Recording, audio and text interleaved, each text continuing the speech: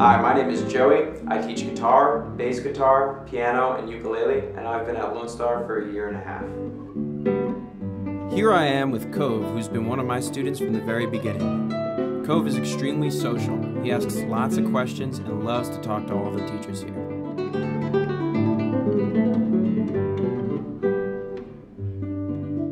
In this lesson, we were focusing on rhythm and strumming patterns, and he picked them up really quickly.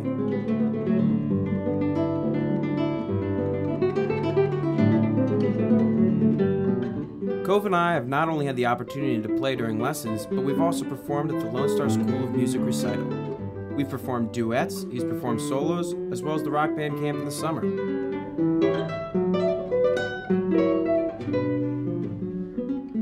He's learned a lot of different styles of music, ranging from country to rock and roll, from jazz to the blues. Hey, come on down and take a lesson with me at Lone Star School of Music in Westlake.